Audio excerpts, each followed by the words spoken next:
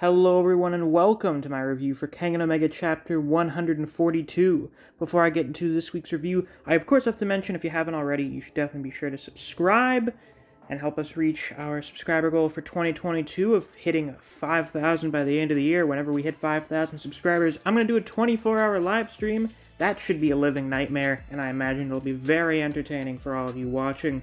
So be sure to subscribe so that we can get to that goal. With that out of the way, let's get on with the review. You guys remember those goons that Jia Ji was saying were going to come to his rescue last week?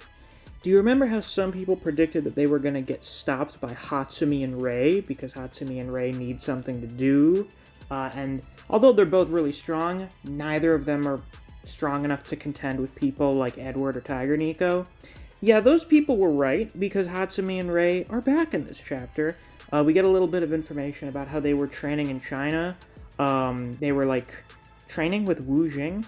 Uh, so it's not clear how much stronger the two of them have gotten since Ashura, presumably a decent amount. Both of them had the motivation to get stronger. Rei wanted to get strong enough to beat Kuroki. Hatsumi wants to get strong enough to beat Kanao.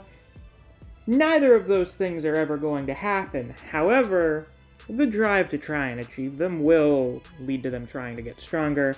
Um, we don't really get a great showcase of how they may have gotten stronger because they're just dealing with faceless goons, um, but they're here, uh, and it's confirmed that they've done some kind of training. So we will have to wait and see what's up with them. Uh, needless to say, I'm quite looking forward to it because both of those guys are pretty cool. Uh, and I'm wondering what kind of fights we'll get out of them. Uh, and of course, because Jia Ji's goons are not coming to his rescue, it's just playtime with Joji and Kureishi now. Um, so, how do I put this in a colorful way that will not get me demonetized? Um, Jia Ji is going to be metaphorically getting all of his holes resized by Joji and Kureishi. Yeah, yeah, I feel like that's a pretty accurate way to kind of symbolically describe what's about to be happening. We're probably not going to be seeing this on screen, uh, because more exciting things are happening than two top tiers bullying a Chinese twink to death. Um, presumably, though, Tiger Nico is going to show up at some point, because it's kind of a waste of Joji and Kureishi to just have them standing around beating the shit out of Jia Ji the entire time. Um, so presumably Tiger Nico shows up to quote-unquote rescue Jia Ji. He may kill him to stop him from, I don't know, leaking information about the worm or something to try and get them to stop beating him up. Uh, and then uh, we'll have these two guys fight Tiger Nico.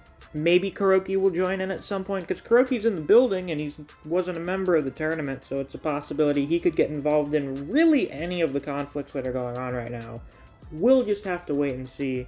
Um, but although Hatsumi and Rei are the title of this chapter, they're not really the main focus. Um, main focus is kind of more so Joji and Kureishi talking to Jia, uh, and then the stuff going on with Edward. And, um, there's some stuff going on with him. Uh, we finally get his Gui Hun in this chapter. Uh, I've mentioned a couple times in the past that due to the way that Gui Hun makes Westward faction members hulk out, it makes them super buff, so buff that they like tear through their clothes, and it's kind of dumb. My concern was that Eddie is already buff as shit. Like, he, he is impossibly swole.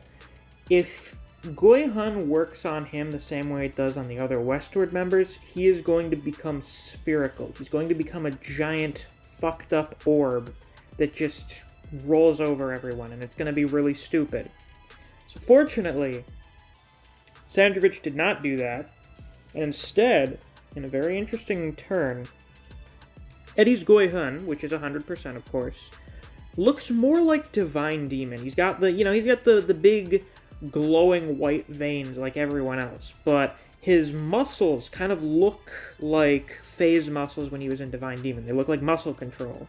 Um, and I'm wondering why are they different? Is it because Edward's different? We know that, you know, for Kure, Wu, and Westward members, their Goihunen removal usage is dependent on genetics. I think that's kind of the case for everyone that uses it. Like, people who are not Lu Tien, the reason Lu Tien was able to use removal to any extent was because of his genes. He's not a member of the Kure or Wu clan. Um, he's just lucky enough he's like a 1 in 10 million case for a person outside the clans to be able to use it people within the clan, their removal rate is dependent on how strong their genetics are. So all of these guys fighting here are like cream of the crop in terms of their uh, genealogy within the clans. Um, but that would also suggest that there's something about their physiology that's different that allows them to reach different levels of removal. And in Eddie's case, his Gui Hun just looks totally different from everyone else's. I'm assuming that has something to do with it. It's probably got something to do with why Edward's so strong. I'm going to assume that Edward is the Ryan of the Westward faction, and that he's just this genetic freak who's on a completely different biological level than everyone else. Um, and oh man, is he on a different level! 100% Gui Hun speed blitzes. Everyone he fucking speed blitzes Ario, Ryan, and Wu Jing in the like second it takes for Ario to fall onto the ground after being struck by Edward. That's a ridiculous speed feat. That's like a Rei type speed feat. He moves so fast that you can't see him until he's slowed down to hit you. It's fucking nuts. Eddie, top of the verse tier.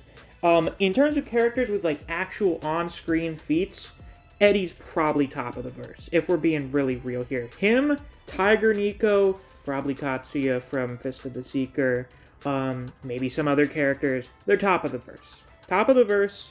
Eddie is probably the strongest character we've seen based on on-screen feats in main series Kengan thus far. I feel like most people are agreeing with this. I don't feel this is a super controversial statement. Is this probably mostly due to recency bias and hype? Yes. But also, I mean, Ryan was like top five in Kengan. He was still kind of like top five in Omega. Ryan is exceptionally powerful. There are arguments that if Ryan stopped being such a fucking idiot, he could be considered the strongest Kengan fighter in the series. He would have won the Annihilation tournament if he wasn't a moron. That's a possibility.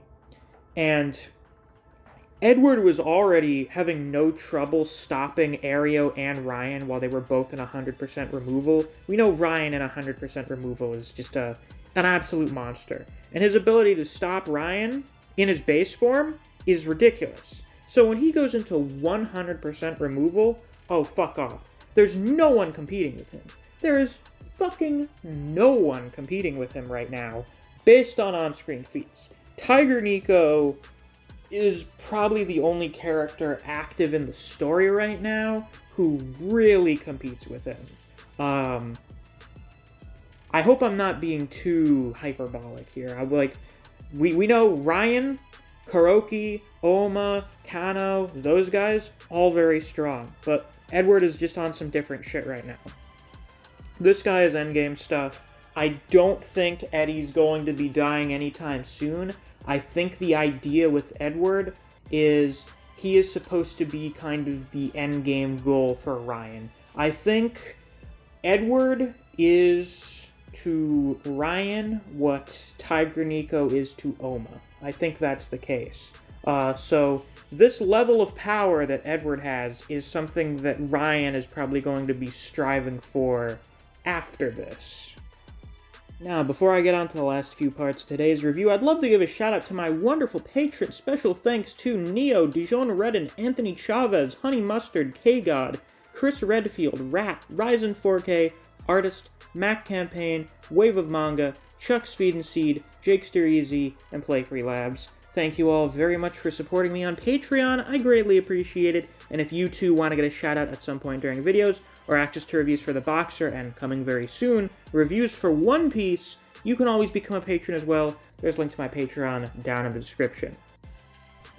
Now, after Eddie fucking steamrolls Ryan, Ario, and Wu Jing, he does something very stupid that is purely for the sake of the plot.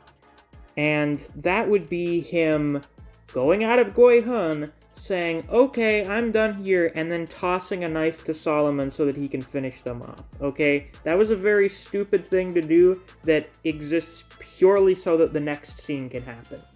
So Eddie walks off, minding his own business, saying that he's gonna go, you know, get them some transportation so they can leave. And then Solomon's head flies past him, because of course it does.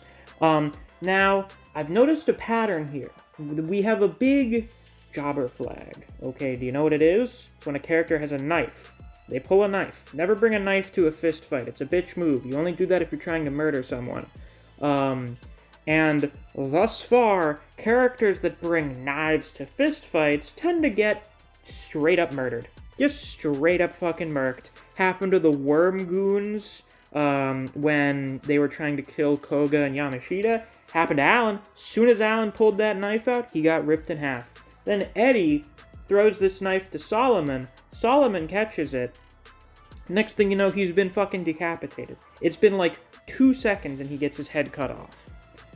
Um, however, maybe this is all part of Eddie's master plan, because Eddie's not a moron. Eddie's uh, a, a, big muscle guy, but he's not a muscle head. He's got some brains in there.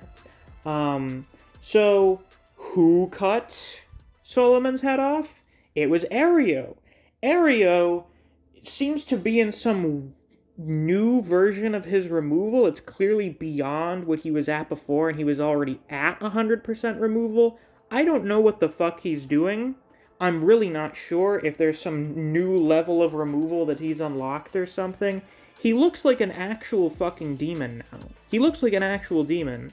Um, and this is a really bad sign, because I've seen enough series to know when the really strong old guy turns into a fucking demon thing so he can fight one of the main villains before the protagonists do, he's gonna die. He's gonna get fucking killed. That's just how it goes, without fail, every single time.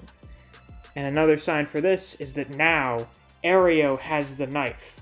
Bad track record. Everyone that pulls out a knife gets fucking killed. Ario's got the knife now, he's gonna die. It was all part of Eddie's plan. He recognized the patterns within the plot, he tested it out with Solomon, and, you know, planned on the knife being taken by Ario. So it's like, aha, Ario, now that you have that knife, you stand no chance against me.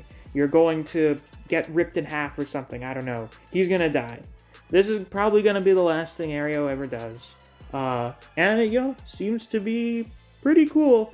I'm looking forward to see, um, seeing how uh, this old man can go out with a bang. And once again, I'm assuming that Eddie's probably gonna be fine he's probably going to be okay. Uh, you know, he'll kick the shit out of Ryan again and then leave. Because the idea with the tragedy is that pretty much things only go wrong.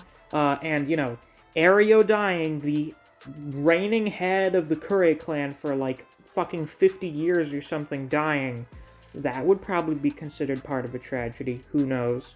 Um, Anyway, I feel like this worm invasion thing is actually way better than the Hayami coup during the Annihilation tournament, because this one has actual fights between the established characters instead of the established characters just kind of dealing with a bunch of nameless fodder guys.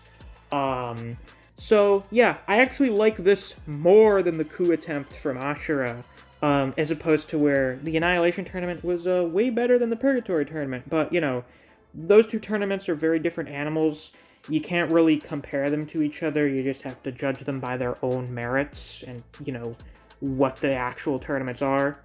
In which case, the Annihilation tournament is still way better. Uh, but, you know, that kind of goes without saying. Anyway, that's pretty much all I've got to say for this week's review. If you enjoyed, please be sure to like, comment, subscribe, and click that notification bell so you don't miss any of my uploads.